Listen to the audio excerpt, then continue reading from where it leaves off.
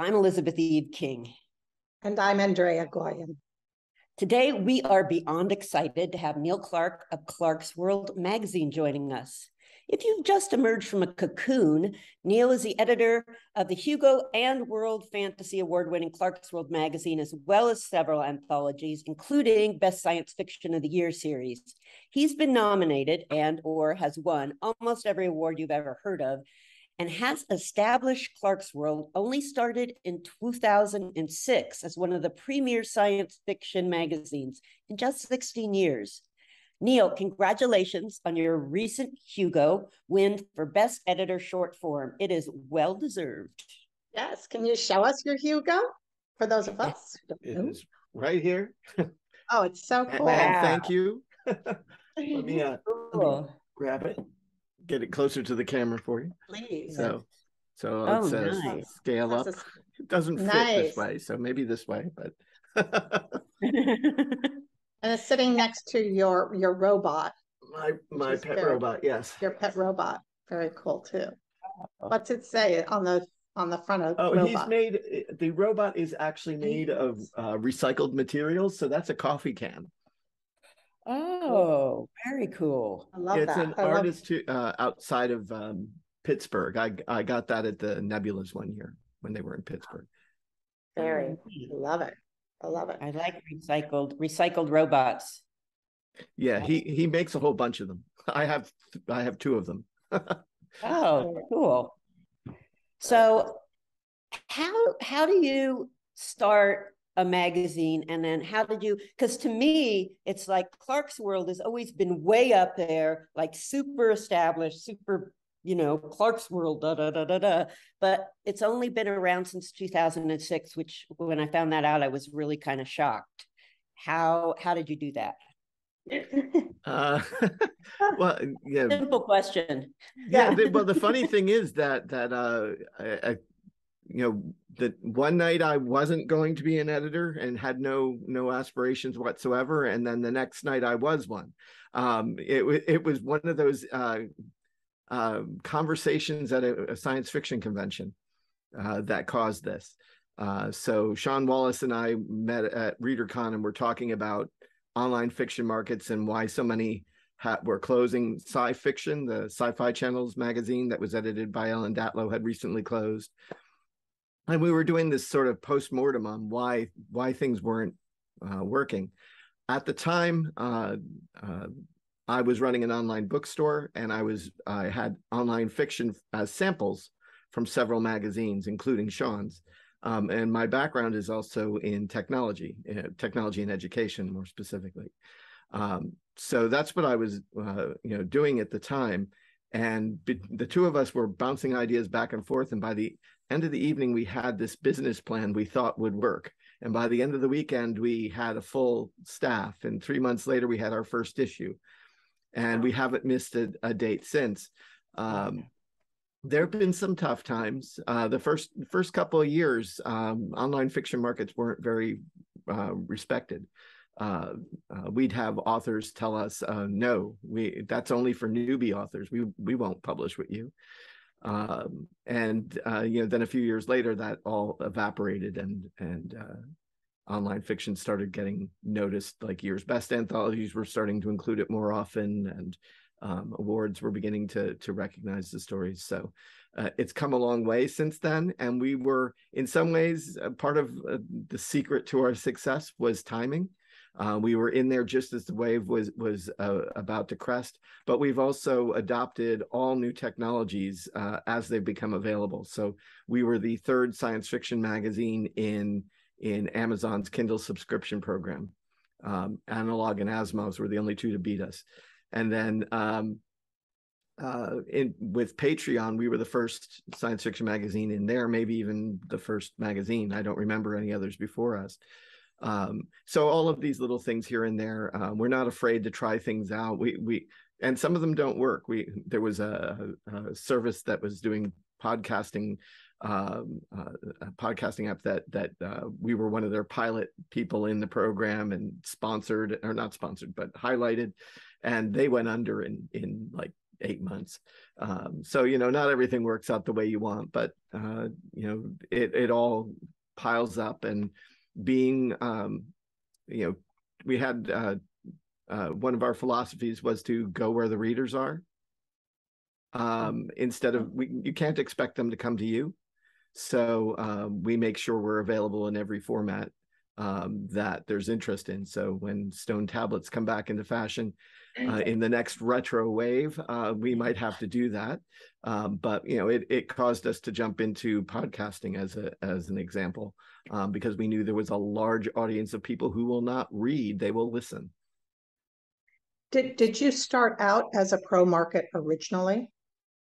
We were pro rate? so so it depends on how you define pro i i tend to say no but we were paying 10 cents a word Oh. um uh, my definition for pro falls more in line with what the Hugos do in saying that you should that, that the editors and staff pay also matter Mm. um whereas you know uh, uh, the a lot of people will just conflate SFWA's qualifying rate with being a professional Right, right. Right. And Now, uh, how did you start paying? I'm sorry. no, ahead. I was How did you start paying right away? Well, uh, it was attached to the to the bookstore. Um, so y- y- we did it the old-fashioned way. We we invested uh, some of our own money in, into it, um, but it was tied to the bookstore, and I used it. I I uh, counted it as a marketing expense to put some in there. We also started small. Um, you know, the size of the magazine now is forty-five thousand words of fiction plus nonfiction and, and cover art. When we started, we were two stories and a cover and the two stories were 4,000 words or less. So our budget was a lot smaller. And as we gained readership and other revenue streams, we expanded uh, to fit that. that makes sense. And how long have you been doing new fiction, nonfiction? I'll let you ask the The- next. Oh, the nonfiction started in our second year. Um, uh, uh, our first year, uh, we ended up uh, with positive revenue, so we uh, decided to expand a little, and and that was the first place we did it. That's cool. Um, one of the questions that um, someone asked me to ask you was uh, what percentage of the spots in the magazine are invitational and what come out of the flush, the slush fund group? Can't All of them are slush. Uh, we we do not invite anybody. So if you see somebody you recognize, they went through the same process everyone else did. And do you, when you're when you're deciding at the end with your slush file, uh, I keep saying file pile, your slush Mm-hmm. pile of maybe stories, does someone's presence online matter, or is it all about the story? Uh, uh, no, it's it's about the story. Uh, it's it, Right. that I, I'm pretty adamant about that one. It's it's not the like I don't even pay attention to who the author is most of the time. I mean, I might notice. I don't. I read the cover letter after the submission because it it can quite often the cover letters are so bad they can bias you against the story. Um, yeah, so there, there's a. um it, we're really happy when we get to work with somebody we've never worked before.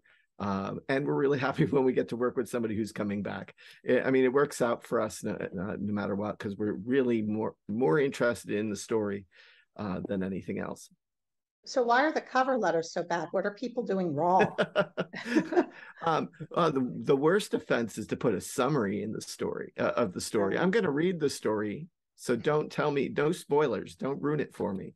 Um, you know, th- there's some people that announce how a story is going to end, and that just is terrible to do to an editor who's evaluating your work. Um, I want very little in a cover letter, and I, I actually uh, wrote something up that says there's really only two things I need to know. One is english your first or second language is english your second language?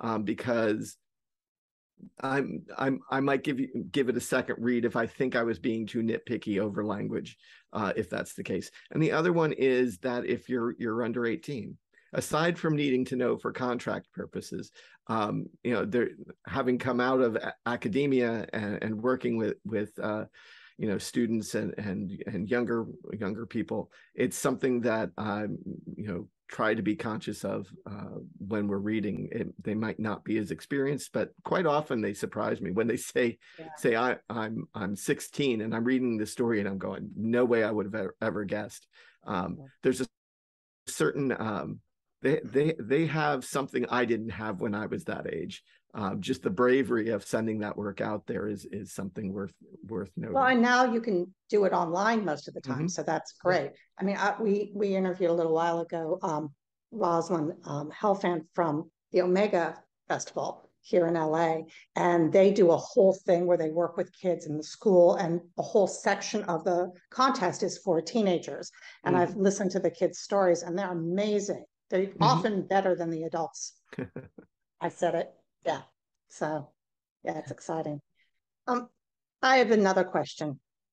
How, this is personal, how do you get through your, your slush pile so quickly? Because everyone really appreciates the fact that even though you're not, you can't do simultaneous submissions, you get through it fast, whereas some Mhm. markets take four or five months with no simultaneous submissions. Yes, I, I, I, that's my question too, Yeah. because It's- usually it's math. just like. No, it, it's have- it's simple math. You know how many are coming in. You know how many you have to read in a day. Um, there, th- you follow the averages. It's kind of funny. p- Markets that stay a, a consistent three months, they're actually turning over the right amount of stories. It's just they've fallen so far behind um, that they're never they're not gaining ground.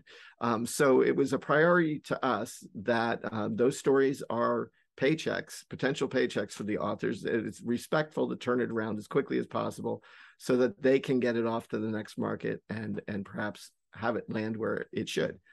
Um, now the uh, um, uh, but we have a few slush readers on, on, on team right now. There's one, but sometimes there's as many as five. Um, but I I'm still first reader on on anywhere around sixty percent or more um, uh, on on the average because I feel it's important to keep um, my feet in that pool. Um, I view uh, I view uh, our slush team as more of an academic experience for them. So I'm primarily looking for people who want to be uh, writers or, or, who are writers or want to be editors. Um, uh, because I think there's some useful things that they can pick up from that experience. So since since you're sorry, Elizabeth, I keep asking questions. Since you're the first reader, um, another question someone asked me was, what do you feel like the personality of your publication is versus some of the other speculative markets out there? Oh, I'm probably the worst person to ask that because I I don't. People ask me what a Clarkesworld story is, and I don't know. It's it's the stories I like is is the worst possible response to that uh, because it's meaningless. Um, it really doesn't help anyone. Um, but the problem is that it's a moving target. Uh, so it's influenced by everything I read, either in in the slush pile or in another magazine or in another genre, even. Um, uh, so it, I never really know what it is I'm looking for until I find it. Uh, so it's that sense of uh, discovery that when you're reading through the slush, there's the stories that sort of jump out at you. This, um, I tell the slush readers that I want to see stories that make them think or feel, uh, because there's something about that story that's engaged you. Uh, I want the story you're going to remember the next day. Um, because when you're reading 1100 stories a month they all blur together. Um, so the, on the plus side i don't remember any of the stories i reject um, so i've not and and it's nothing the plus side is for the authors because i've had them come up to me at conventions and say i'm so sorry i sent you that terrible story um, you know from early in their career or whatever. And i'm like i don't remember. Every story is a clean slate. Um you know so you know you might feel that last one was absolutely terrible but i'm still reading the next one as if it's the first story i've seen by you. Um so it's it's uh, uh you know advantageous to to uh, be a little for, forgetful in that. So when you so you give it the first read usually like 60% of the Mhm. time.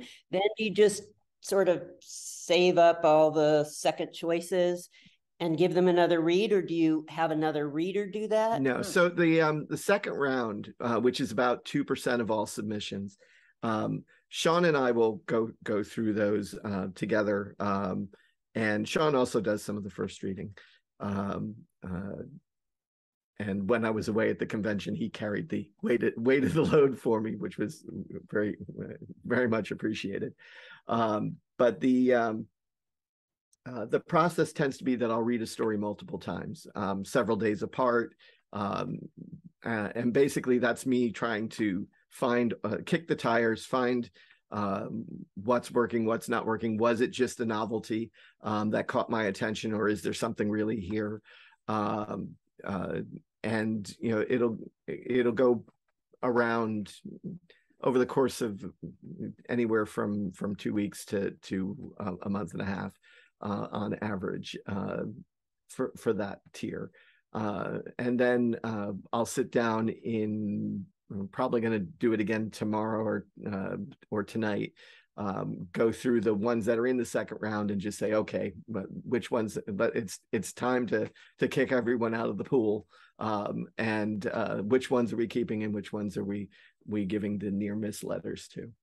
Uh, and do so, you when with the with each publication of the magazine, do you try? Is there a feel to it? Are you trying to fit pieces together with the stories, or is it just I like this story? It may not go with this one, but I don't care because I like them. Okay, so when we're buying, no, we're not buying for a particular theme or anything like that. Mm-hmm. But when when I'm assembling an issue, I'm looking at a number of factors, and you know, I, I want stories that play well together. I'm not framing a theme or anything like that, but I want um, uh, stories that are compatible uh, to to go together. Um, so that I'm not giving a reader whiplash going from one story to another.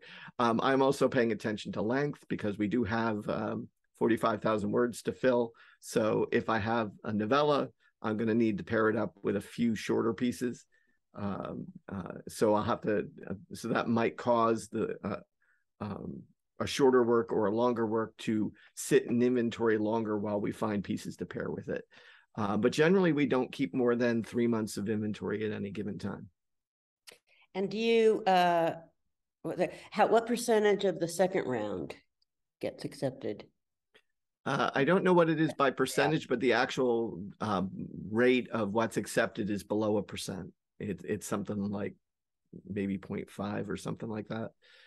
Um, it, will vary month to month uh, a bit. Uh, I did I do a lot of um, statistical analysis of our slush pile. So on my blog, people can find a whole bunch of of uh, things. Usually at the start of a year, I'll I'll do an analysis. But I did one um, that was um, the funnel. Uh, so first round, second round, published by genre, um, which was kind of interesting because I animated it over the course of of, of uh, a few years to get a sense of what was going on with the publication. I'm tr- I try to uh, um, evaluate myself on a number of criteria, so I do pay attention a lot to the statistics behind it. Plus, again, my background being in technology. Um, I'm I'm a, da- a bit of a data junkie. So. And you said your background was in technology for like teaching technology. Can you? Oh, uh, yeah. I, I, worked in academia for over 20 years as, um, um, it, that never really had an official title and I started, but I was the person who helped integrate technology into the curriculum.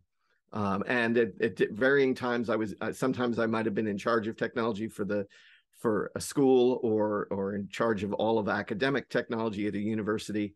Um, but most of the time it was um, uh, heavily involved in in uh, curricular integration and things like that. That was my my area of specialty um, that I sort of I think I spent most of my career doing that. At the university level? At K twelve and university level. Typically university, but I did I did uh, I've taught it, uh, and I've also worked in the classroom. Um, I haven't taught full length classes, but I've taught single sessions. Um, so I've actually worked with students from from like three years up to um, uh, a, like a 90 year old professor getting tutored. So um, wow. it, yeah, there's only one classroom I won't step into, and that's a seventh grade classroom. I there's, hear there you. Are reasons. they are awful. Terrible age. I hear you. I had a I had a year teaching middle school that I'm surprised. Then you know. Not, yes, I do. I do. I was like, wow, I teach little, I've taught old, mm-hmm. and middle school is just like, no. Yeah. yeah. So sure. I get it. Now, you also have, did you also start with, because you have narrated your stories, or Kate has Mm-hmm. narrated your stories on the website. Was that right from the get-go too, or did you add that in? Because that's a really nice, I think that's a really great thing, additional thing. Like now you have, you know, it, it's just grown exponentially, obviously, non-fiction as well as this narration where you can listen. hmm Uh, we didn't start off doing that. It's something we added, uh, uh, you know, a few years in. At first, we were just doing one story from each issue, and eventually, it worked up to doing all of them. Um, and uh, uh, at, and we were also we also started with a, a few narrators, and after a while, uh, after after working with Kate a few times, I offered her the position as a a permanent thing. I think it was probably one of the smartest hires I've made uh, uh, because she's she's been uh, rather consistent and she is the voice of Clarkesworld at this point. Yeah, that's great. So, if you could give your younger self one piece of advice, what would it be?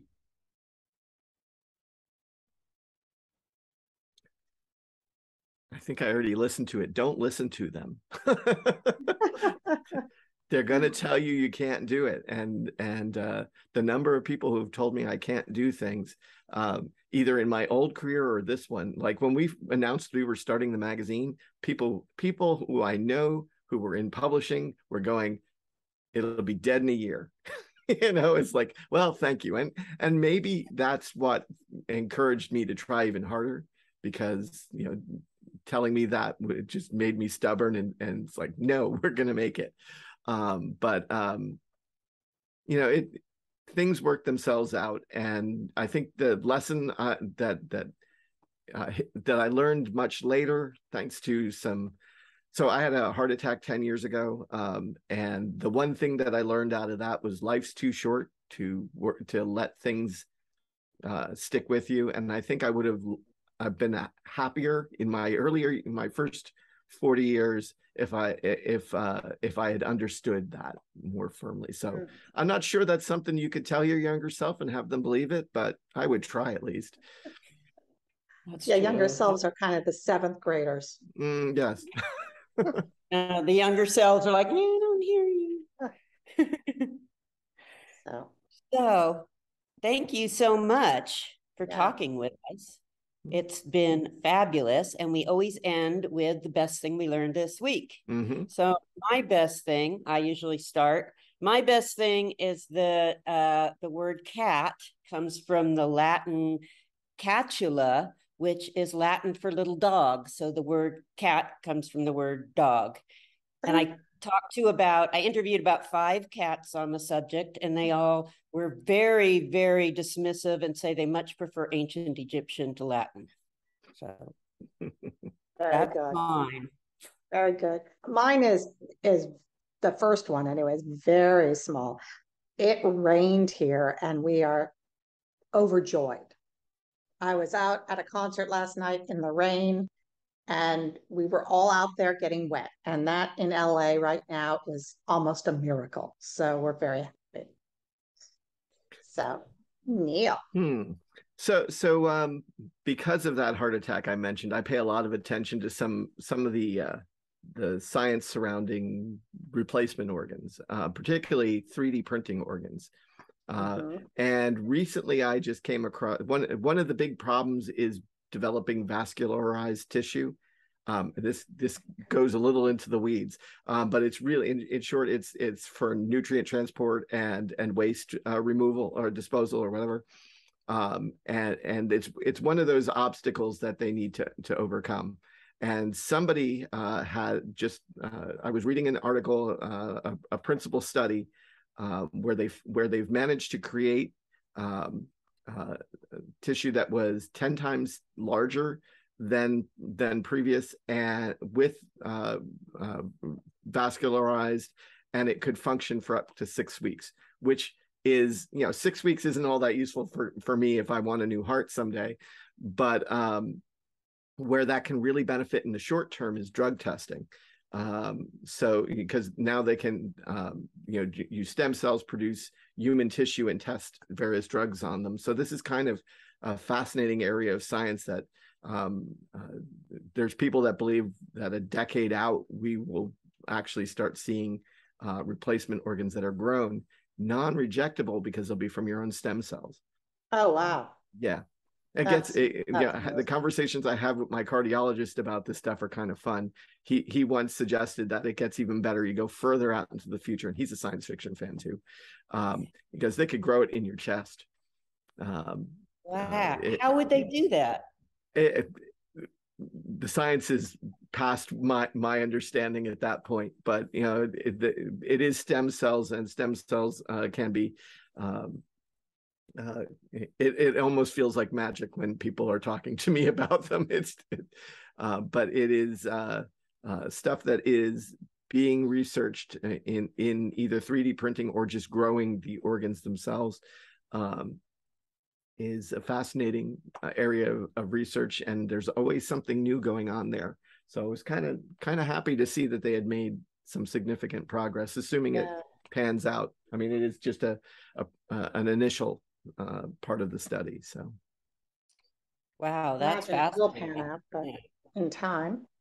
I'm So- trying to, I can imagine printing an organ, but I can't imagine how you'd grow it in your chest. Mhm. That's, that's just incredible. Yeah. At what point do you have two hearts? Are they attached? Uh, you know. well That's tha- all. that's Two that's- brains, you've got two brains and they're like, and how does it fit yeah, Yeah, how does was it Like, at what point do you take one? Yeah. It's yeah well But I- he, I know- was- go ahead No, I was going to say, I know when you take out, um, it's a different organ, but Mhm. it's, what is it? It's a liver transplant. They leave the old one in. hmm I think it's the liver. Because I had someone I knew who, and she's like, oh, I still have the, the one, the one that doesn't work is left in. hmm you never take it out? That's what uh, she told me. I mean, that I think there's Hmm. something about the, it's, it's harder on your body and the, the removal of it. Because it's usually harder on the donor than the receiver when you do a transplant like that, hmm a liver. Is it? Hmm. So- So someday we'll have like two hearts or two brains or, well, he was saying that they would cut the old heart out, like they would minimally invasive surgery, and they could go in and pull it out in little pieces. Um, yeah, it, it Yeah. that's, yeah, talk about science fiction. I mean, pulling the heart out in little pieces is just what happens to what Mhm. the, some of the pieces that remain, you know?